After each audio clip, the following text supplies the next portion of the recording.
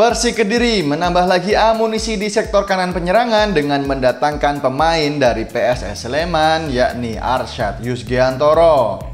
Sebelumnya Persik Kediri sudah meresmikan sayap kanan juga dari Madura United yakni Renan Silva. Saya akan menganalisa seberapa penting peran Arsyad di skuad Macan Putih nantinya dari beberapa faktor. Berikut penjelasannya.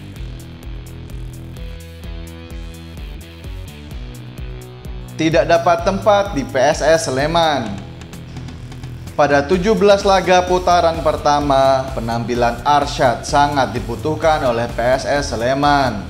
Terbukti dengan selalu dimainkannya pemain kelahiran Tulungagung tanggal 11 Juli 1996 ini, baik itu sebagai starter maupun sebagai pemain pengganti. Dalam tiga pertandingan awal pun, Arsyad mencatatkan dua assist ketika melawan Persija Jakarta dan Arema FC. Namun, dikarenakan posisi PSS Sleman yang masih berkutat di papan bawah waktu itu, akhirnya terjadi sedikit perombakan skuad Super Elja.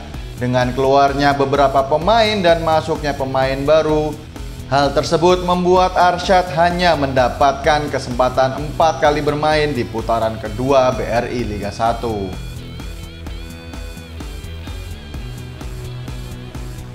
Reuni dengan alumni PSS Sleman lainnya. Dengan adanya mantan punggawa PSS Sleman yang sudah terlebih dahulu diboyong ke Persik Kediri pada setengah putaran BRI Liga 1 tahun kemarin dan baru saja diperpanjang kontraknya yakni Samsul Arifin, Fitra Ridwan, Adi Satrio, dan King Arthur Irawan. Diharapkan dengan berkumpulnya para pemain tersebut bisa lebih mendapatkan chemistry dalam permainan nantinya dan bisa berbaur dengan pemain Persik lainnya untuk bisa mencapai satu misi kemenangan di setiap laga.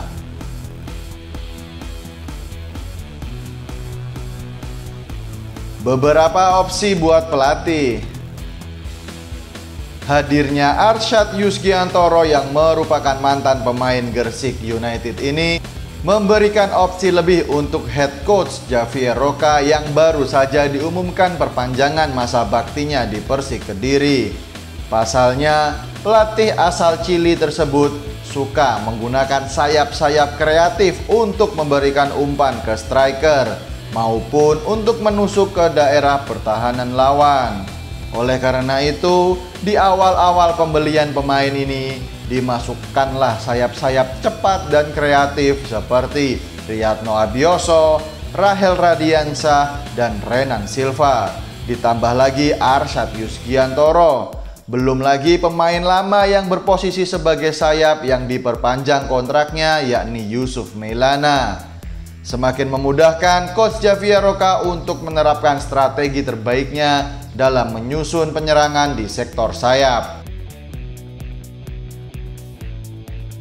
Dari pembelian beberapa sayap tersebut tidak akan lengkap jika belum ada sosok striker andalan di depan gawang lawan sebagai pengganti dari goal getter musim lalu yakni Yosef Ezejari. Kita tunggu saja siapa yang akan digaet oleh Persik Kediri nantinya sebagai andalan dalam mencetak gol ke gawang lawan.